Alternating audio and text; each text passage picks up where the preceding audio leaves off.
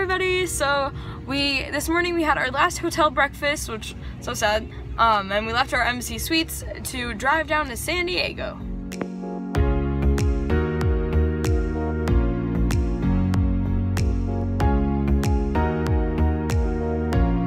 So this is Cabrillo National Monument on Point Loma, at Point Loma, in Point Loma, whatever. Um, but it's really pretty.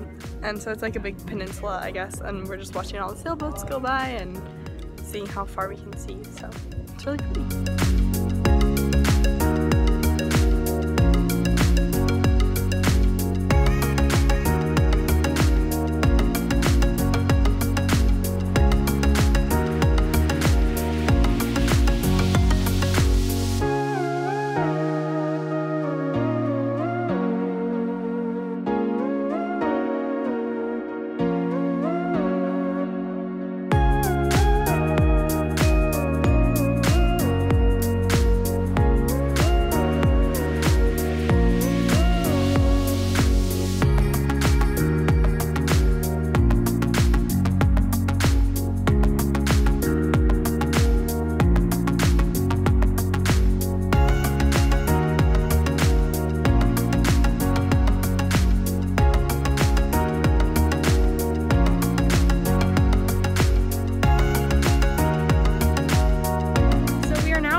Hotel del Coronado, which is this really amazing uh, giant hotel that was from the early 1900s. It's very large and so cool. We're gonna have, I think, lunch here, but for now we're just walking around uh, their gardens. We just saw their crazy lobby, and it's really interesting because you can tell it's, you know, an older style, but still really pretty.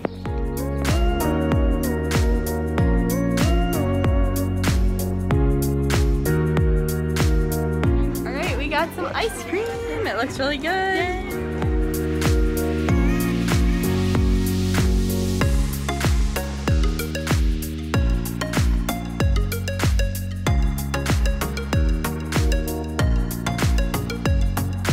The other thing we forgot to say is that the hotel is what the Grand Floridian in Disney in Florida is like modeled after mm-hmm. with like the red roof and the white buildings. It's very like beachy California. But anyways, we're just hanging out down here by the water and the rocks and it's really pretty and we're having a good time.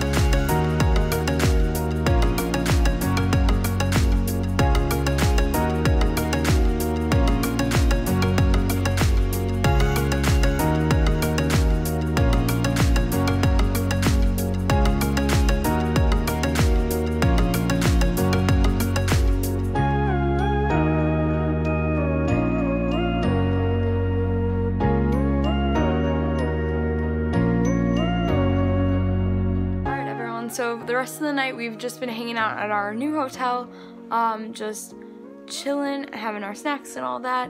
Um, and now we're just heading off to bed. So that's all for today. Thank you so much for watching. Uh, make sure to give us a thumbs up and we'll see you tomorrow.